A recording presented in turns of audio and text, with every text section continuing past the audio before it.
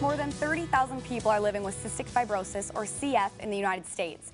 Most of them were told they had the life and breath limiting disease by the time they were two. Yet, because of the risk of cross infection, meeting each other in person can literally be life threatening. Yet, as many of you know, human contact is equally important to a good quality of life, which is why Ashley Balubanama with the Breathe Bravely organization decided to get a group of CF patients together in a very unique way, and the result is inspiring. Welcome, Ashley. Thank you so much for having me today. So tell me a little bit first just about cystic fibrosis and what this is. Sure, it's a genetic disease that is, um, it complicates many different organ systems in the body, but primarily causes chronic lung infections, um, issues with the digestive system due to an increase of sticky, thick mucus, uh, due to a chloride imbalance caused by the genetic mutation. So at what age did you find out that you had CF? I was actually diagnosed at a month old um, due to my brother being diagnosed uh, later in life. So when I came along, they just naturally um, tested me, and I had an early diagnosis in the 1980s. Okay, so wait, you just mentioned that your brother also had it, and we just talked about in that introduction that you're not supposed to have human contact with them. So what challenges did you face living with your brother who also had this? Sure. So um, when my brother and I grew up, at that time they didn't understand just how dangerous we possibly could be to one another due to cross infection.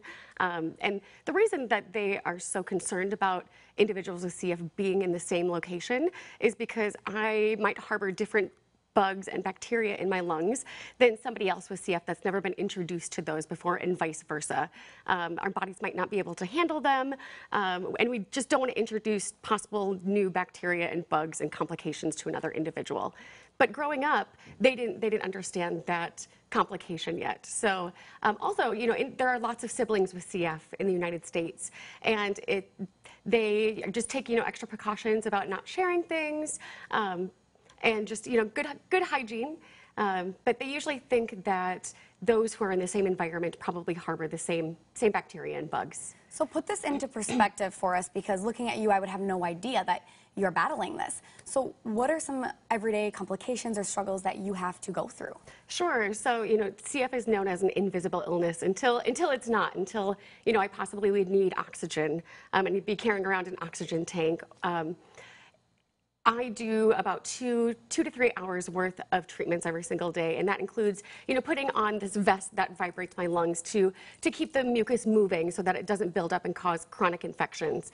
Um, you know, from a young age, I'm inhaling nebulizers. I take over 50, 50 pills a day just to maintain where I am at now. CF is a progressive disease, so it's something that we're tr constantly trying to combat. Um, it currently doesn't have a cure. We have a lot of therapy options, which is really wonderful and has allowed me to still be alive today. Um, but it is something that we're constantly fighting. And I myself am um, primarily fighting the loss of lung function. Okay. So then this led you to creating Breathe Bravely. Explain what this organization is. Sure. So you alluded to it, you know, being an invisible illness and not being able to see that. Uh, you know, and that's something I really clung to most of my life. Uh, you know, between my teens and my 20s, just because I didn't want to be seen as this disease and to be measured upon that. I am actually a musician, and so that was really important to me that I would be, you know, measured at the same bar as my peers and my colleagues, and not, oh, you have CF and and set at, set at a different level. So I hid a lot of my life with CF, and I could because you know, I, I could make it seem seemingly invisible, um, but it was getting more and more difficult to actually hide it. Um, and I had a great group of friends that really supported me and confronted me and said, you know, we, we know what's going on. We know that you're struggling. Let us in. And so in 2014, I started a blog called Breathe Bravely, uh, just kind of airing, airing what my life really was about. I had absolutely no idea what that would lead to. Um, and I couldn't even begin to fathom that I'd be sitting here today. Um, and all that has come from, from starting that blog. And how has this blog helped other people as well? I think, you know, at its core, it's allowed people to really understand the complexities of CF uh, and not only see how it affects my life, um, you know, and the trials and the struggles that it creates. But also, I hope that people can see their own lives reflected in mine, that we all have our different trials and we all have our different, you know, circumstances. But at the end of the day, feelings are feelings and obstacles are obstacles, and that's really what connects us. And like you said, you're a musician, and so After Breathe Bravely, that led you to SingSpire. So explain what this is, and then we're going to take a look and actually see for ourselves. Sure. So while I started Breathe Bravely, the blog originally, I was actually in graduate school for voice performance. Um, th- there's always been this just inherent love of music and singing my entire life. I, I didn't necessarily know why I was so passionate about singing. Um, I just knew I had to do it.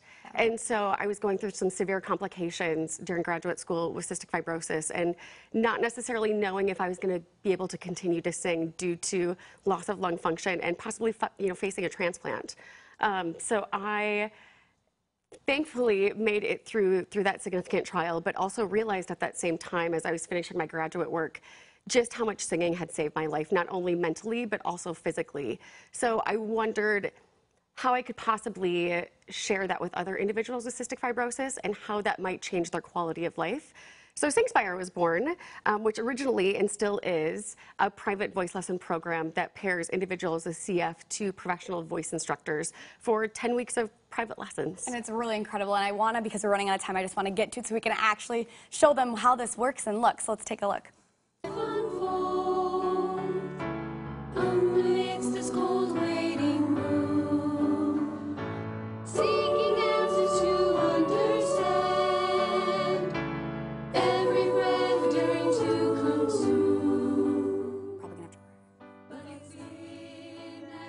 Wow, this is incredible, and I can tell how inspiring this really is. So thank you so much for coming in today and sharing this with me. Thank you so much.